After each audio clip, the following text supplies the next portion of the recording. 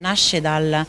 racconto di storie vere di donne che lavorando nei pubblici esercizi eh, hanno riportato e fatto tesoro delle esperienze, dal chiudere di notte una serranda al buio all'interno di borghi magari poco illuminati o anche nei centri città, piuttosto nel racconto di quello che vedono osservando la propria clientela. Così il mondo di bar, ristoranti e locali notturni di Arezzo e provincia è pronto a fare la sua parte nel contrasto alla violenza di genere con la formazione del personale e un'app per fare segnalazioni dirette alla Polizia di Stato. Si tratta del progetto hashtag Sicurezza Vera, iniziativa lanciata in via sperimentale in 20 città a fine 2021 ed ideato dal gruppo imprenditrici di FIPE Confcommercio in sinergia con la Polizia. Si innesta dentro la precedente Questo non è amore, che è un filone di conduzione di violenza, di cultura, di, violen di cultura e diffusione eh, di, eh,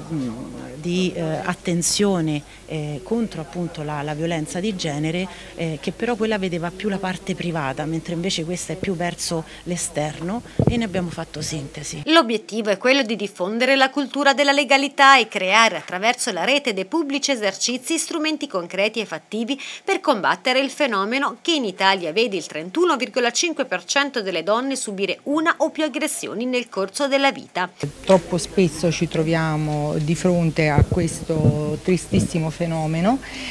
molto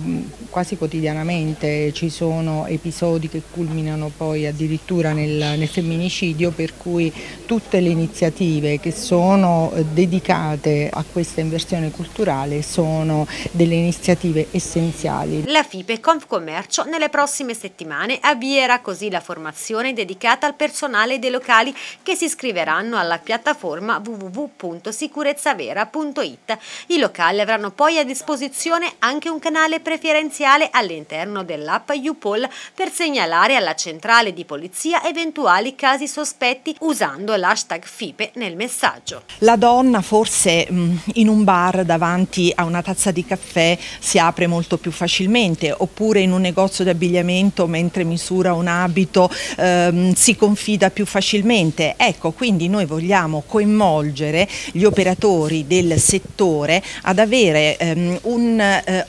occhio ehm, da poliziotto. Vorremmo che gli operatori fossero delle sentinelle eh, in questi ambienti e ci aiutassero.